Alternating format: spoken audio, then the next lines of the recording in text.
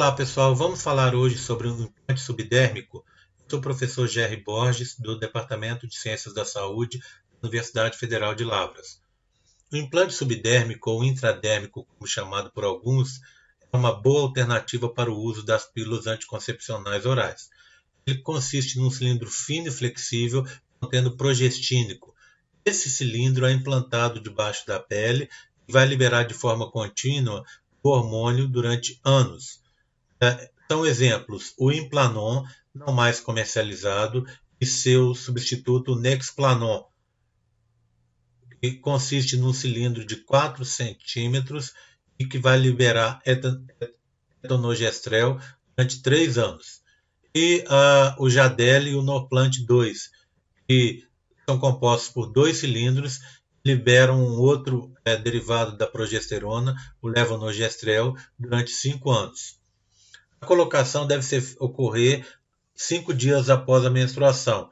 Ela é subdérmica no braço, conforme vou mostrar no filme daqui a, é, no próximo slide, e uh, essa implantação deve ocorrer entre 8 e 10 centímetros a partir do cotovelo.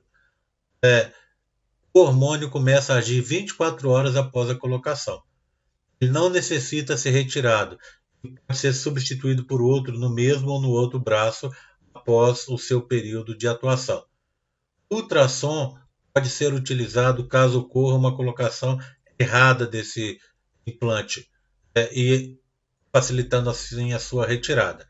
Riscos: mau posicionamento, que pode levar inclusive a lesões nos nervos do braço, dormência e parestesia no antebraço, ah, principalmente associados com um mau posicionamento também, e, obviamente, as dificuldades para encontrá-lo. Pode ser utilizado para encontrar, além do ultrassom já citado, o próprio raio-x. Vamos passar a ver agora a colocação do implante subdérmico.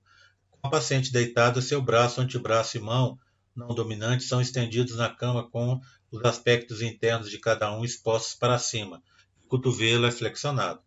O local de inserção é marcado com uma caneta estéreo é, 8 a 10 centímetros proximal ao côndilo medial do úmero.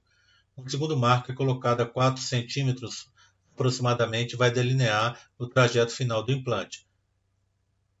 Área é limpa, de modo asséptico, uma cânula anestésica de lidocaína 1% é colocada por baixo da pele junto ao trajeto da inserção planejado.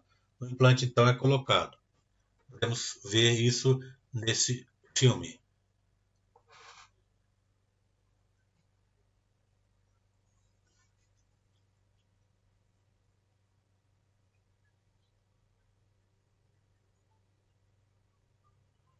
Está fazendo asepsia do local.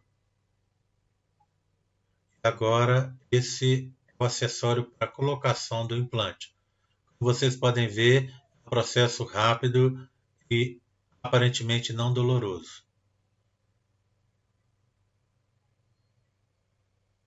Logo após a colocação, tem que ser observado a posição do implante pela enfermeira e pela paciente.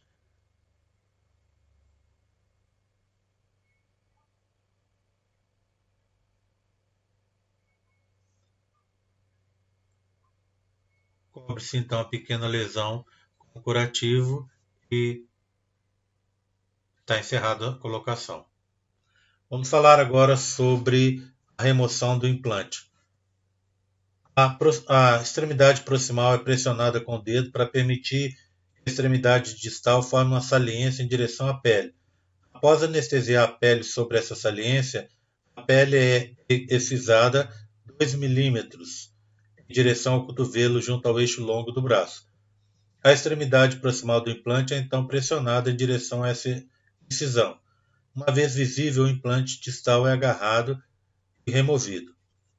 Podemos ver isso nesse filme.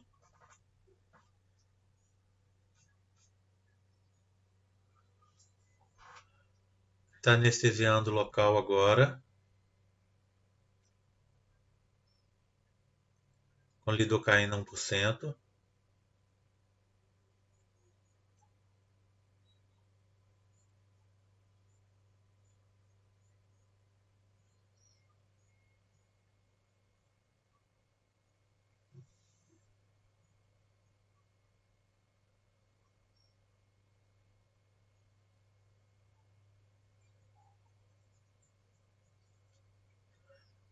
verificado a posição se a, o anestésico fez efeito com a ponta da agulha.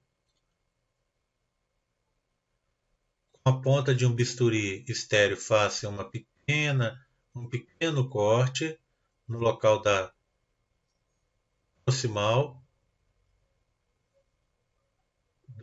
região proximal do implante, localiza-se o implante e retira-se rapidamente.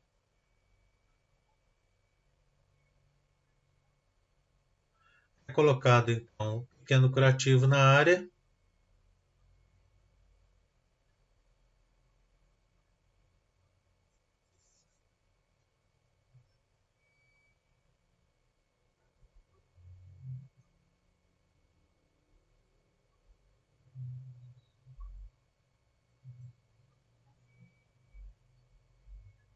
a retirada se encerra.